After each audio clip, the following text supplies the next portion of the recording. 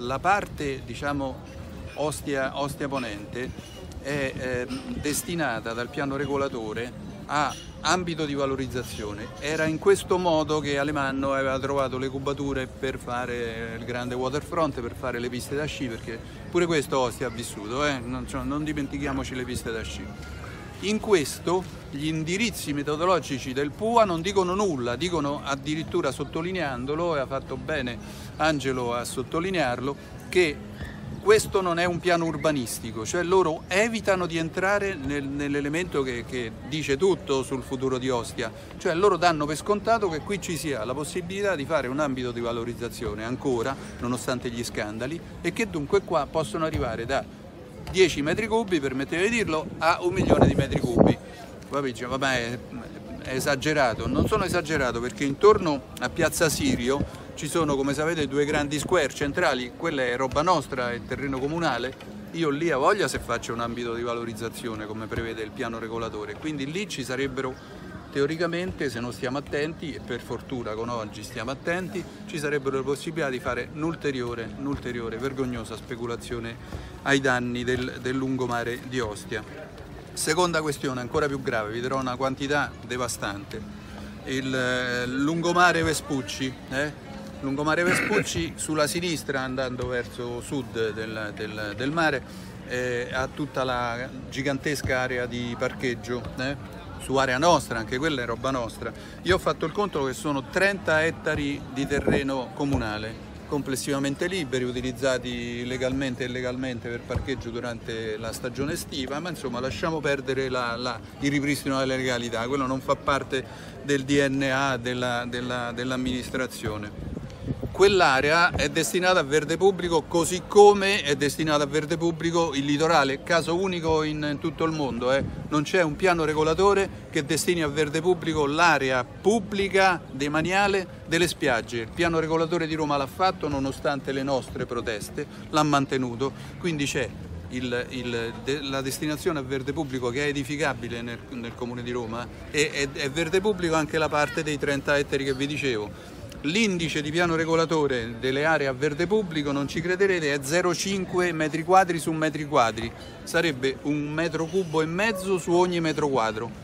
Io ho fatto il conto su 30 ettari, ci stanno 150.000 metri quadrati che sono 450.000 metri cubi.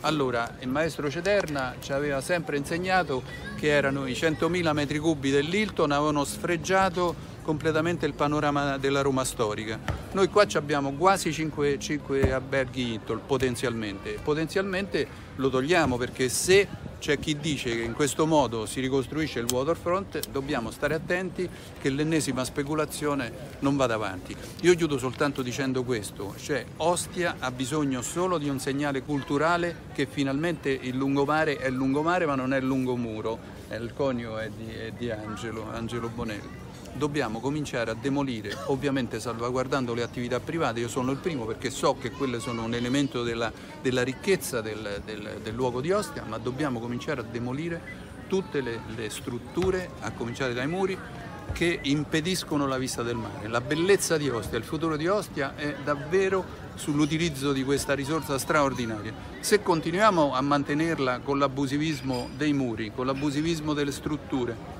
con l'abusivismo delle piscine noi non vedremo mai la luce. Questo è un luogo che può avere un futuro economico infinito e lo so perché molti giovani hanno cominciato a investire in piccole attività commerciali, ristoranti eccetera. Dobbiamo aiutarli e per aiutarli dobbiamo battere per sempre l'abusivismo. Aggiungo a quello che diceva Angelo che c'è un articolo che addirittura, ovviamente sempre no, indirizzi metodologici, poi vedremo, che dà l'altezza eh, degli edifici da costruire per rifare il volo a 5 metri, non esiste in nessun'altra parte d'Italia, cioè se andate a Rimini sapete che lì gli edifici sono molto bassi, è vero che c'è la parte di Viareggio dove ci sono due piani, ma lì è un fatto storico, cioè un fatto ormai storicizzato che sta lì dall'inizio del, del, del, secondo dopoguerra.